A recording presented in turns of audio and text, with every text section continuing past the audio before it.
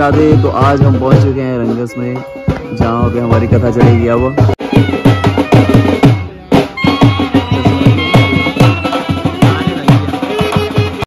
तो ये कलश यात्रा के लिए देखिए, बहुत महान महान हस्तियाँ आई हुई हैं।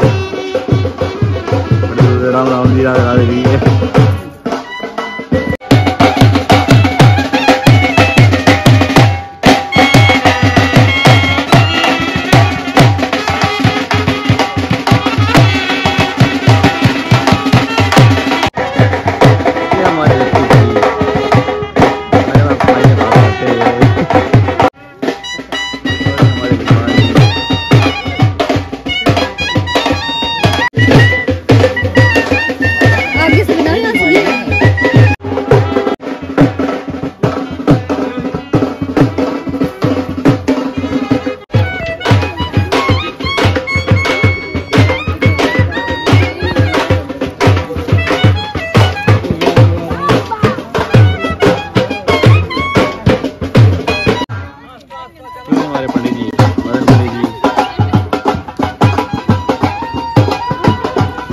कलश यात्रा में सभी अपनी भागीदारी देते मुस्कुराते चेहरे। जानते हैं अगले सात दिनों तक इनके में रौनक लग जाएगी। राधे राधे राधे राधे। राधे राधे जी, राधे राधे जी।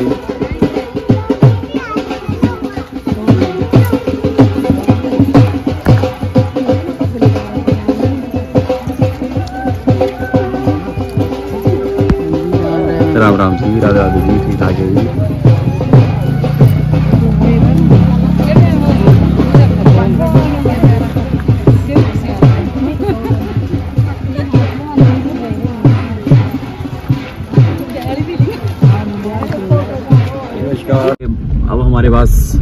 ड्राइवर है मनोहर भाई, लेकिन अब वो चलाते नहीं है तो क्या करें? तो मुझे गाड़ी से कवर करना पड़ रहा है, ये वाली चीज़ें।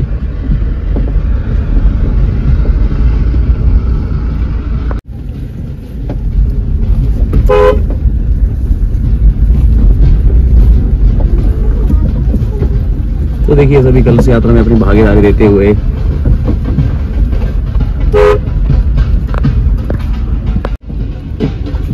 तो दो दो काम करने पड़ रहे हैं तो एक तरफ़ कलश यात्रा रही है और दूसरी तरफ़ मैं वीडियो बना रहा हूँ तीसरी तरफ़ गाड़ी।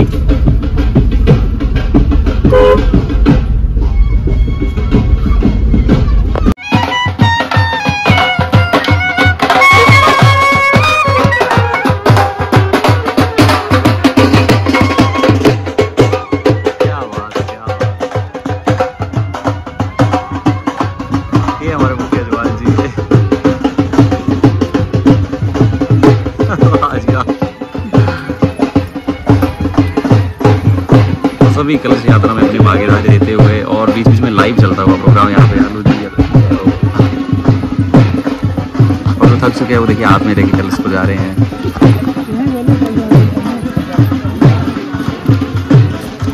तो बहुत सारी पब्लिक यहाँ पे कलश यात्रा में हिस्सा ले रहे हैं और पंडित जी के स्वागत समारोह के लिए आए हुए हैं।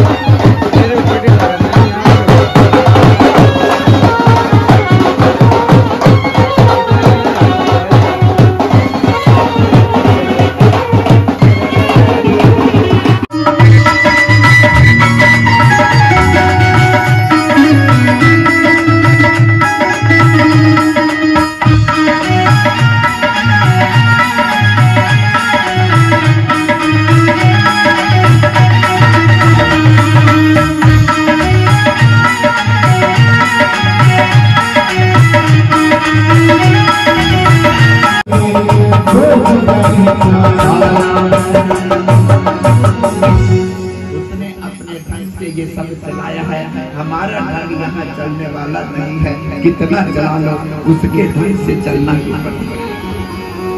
आज की कथा में आपको बताया जाएगा, भागवत को कैसे सुना जाए, भागवत क्या है, भागवत को किसने लिखा, और इस कथा को श्रवण करने से किस जीव को स्वर्ग की प्राप्ति हुई, आज की कथा में आपको ये बताया जाएगा। सबसे पहले कथा सुनने का ढंग।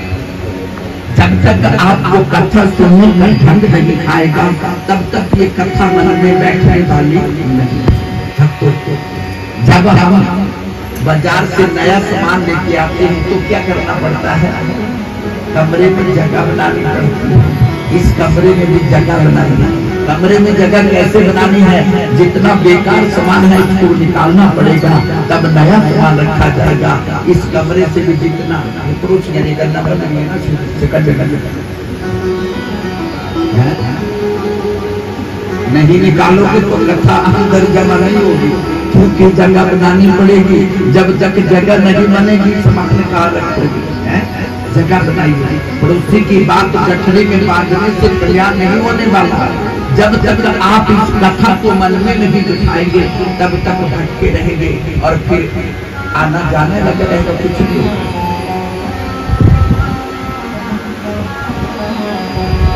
आज मेरे साथ सबने वंदना करनी है। कल से इस वंदना का ध्यान करके सबने कथा